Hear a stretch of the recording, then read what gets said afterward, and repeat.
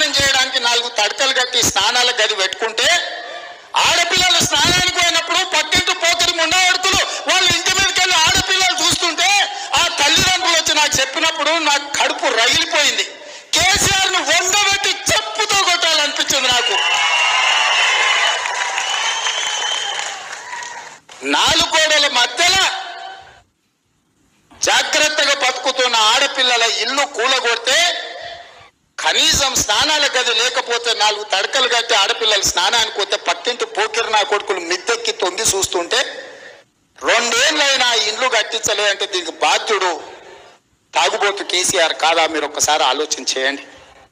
ఇవాళ ఎవరింట్లైనా అయినా ఆడపిల్లలు ఆడపిల్లలు మన చెల్లెంలో మన అక్కలో మన అమ్మలో ఎవరో ఒకరు ఉంటారు.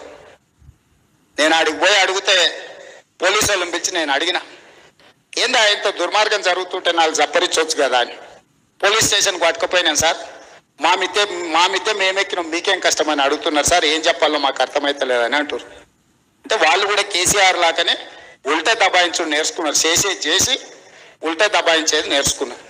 నేను ఇవాళ అడుగుతున్న చిన్న ముల్కనూరులో ఇవాళకి కూడా ఈ తారీఖు నాడు ఆరేళ్ళైంది ఆగస్టు ఎనిమిది రెండు వేల పదిహేను తారీఖు రాసుకోండి ఇవాళ ఆగస్టు ఇరవై మూడు ఇవాళ ఆరేళ్ళు దాటిపోయింది ఇవాళ ఇరవై నాలుగు తారీఖు. ఆగస్టు ఇరవై నాలుగు రెండు వేల ఇరవై ఒకటి. ఆగస్టు ఎనిమిది రెండు వేల పదిహేను నాడు దత్త తీసుకున్న చిన్న ముల్కనూరులో ఇంకా నూట యాభై మంది రోడ్ల మీదనే